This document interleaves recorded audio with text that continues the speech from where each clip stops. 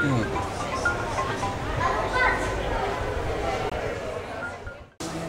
Buonasera, io mi chiamo Anna Di Trani e sono, faccio parte dello staff della scuola di canto lirico Line Cavalieri di San Posidonio.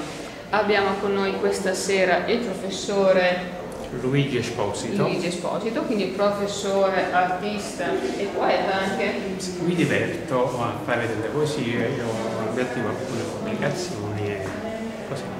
Quindi cosa l'ha portato qua questa sera al Museo del Mare? Sì, eh, sono prima di tutto un abitué dell'isola, abbiamo qui eh, ormai le radici, è quasi 50 anni che frequento l'isola, sono amico di Rino Lauro, di Luciano Di Meglio, mi ha sempre appassionato eh, il Museo del Mare e proprio questa mattina quando ho telefonato a Rino perché volevo fargli una sorpresa, ho preparato una brochure dove ci sono delle poesie fatte da me e da mio padre, tutte sul Museo del Mare.